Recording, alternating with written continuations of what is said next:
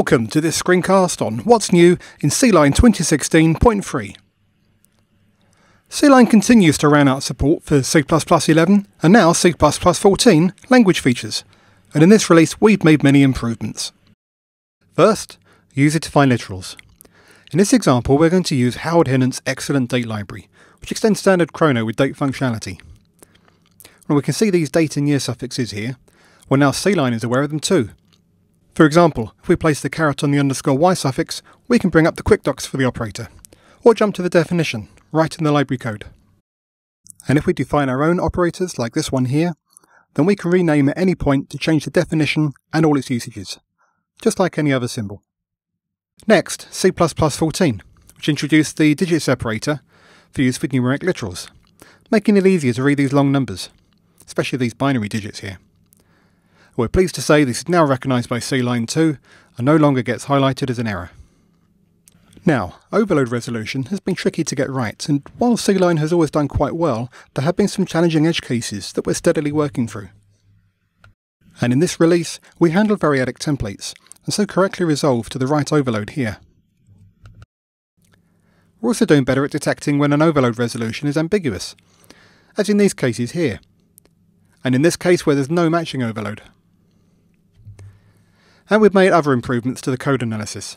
For example, while unused variable detection is very useful, you may have noticed in the past that some uses of RAII, like this lock guard here, would also trigger these warnings. You'll be pleased to know that we now do the deeper analysis on the code necessary to detect these usages and avoid flagging them. We now also recognise additional keywords that affect warnings. For example, this built-in unreachable here means that because this case is never reached, we don't need to warn about the missing return value. And not forgetting the C11 standard, we now understand underscore generic, and so won't warn about valid code like this. And we offer completions for thread local, align as, no return, static assert, and atomic. Now, CMake. There are a couple of new global preferences for CMake, starting with configuration. Now this represents a change in the generation workflow, and while it means that we can't rapidly switch configurations in the editor, it does mean that we don't generate all configurations up front, so this is a time and space saving.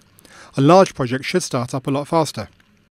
And we now let you supply the path where internal build files are generated. This defaults to an in-source path based on the configuration you've chosen, but you can override this with an absolute path or something relative to the project root. We can now also open a project from an existing generated files folder by opening cmakecache.txt. This saves having to regenerate these files and again can be a big saving for larger projects. And if your CMake files are not in the project root, you'll be offered a chance to change the project root folder as well.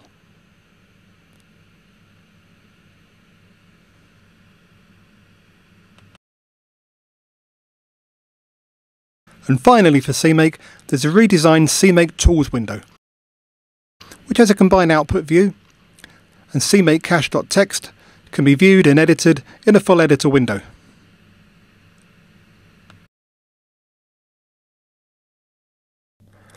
Sometimes we read code that has a number of different variables in play at once. It'd be nice if we can more easily follow them. Well now we can with semantic highlighting. Go to the editor preferences and under colours and fonts, language default semantic highlighting, you can enable this option and now, each different variable name gets its own unique colour, helping you to follow its flow through the code. Doxygen support has been extended to handle template arguments using the tparam tag. These fields now participate in rename refactorings, both from the code and from the comment.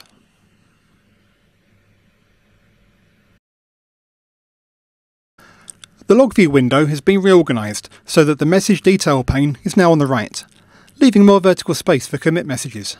Notice also that the commits are aligned on the left, even with some deep branching.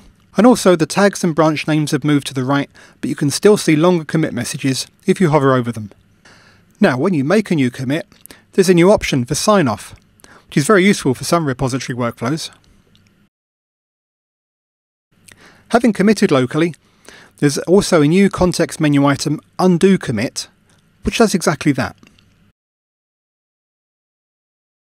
Now this is different to a soft reset because while your changes are still there, they've automatically been added to a new change list.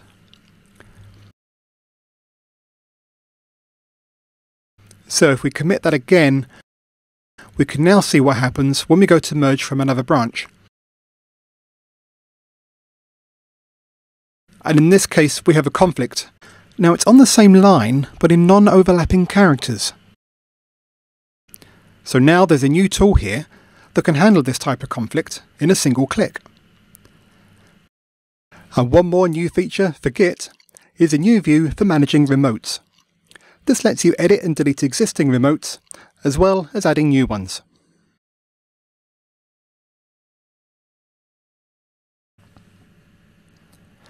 Customizing code fonts just got a lot easier. First notice that we no longer have to duplicate a default font scheme before we can change it. Instead, we have a reset button over here that will take us back to the original default. Notice also that one of the bundled fonts now is Fira Code. This font supports ligatures, so if we enable that and go to the code, then we can see that certain pairs of characters are now rendered using special glyphs. And if you're on macOS Sierra, CLion is now fully compatible, and the issue with tool windows scrolling too fast is now fixed. Also on Sierra, the default font for menus and toolbars is now San Francisco, so CLion will look right at home on your desktop. Now of course there are many more features, fixes and improvements in this release, including extending remote debugging support to Windows, and a number of workflow performance improvements to supporting Unreal Engine.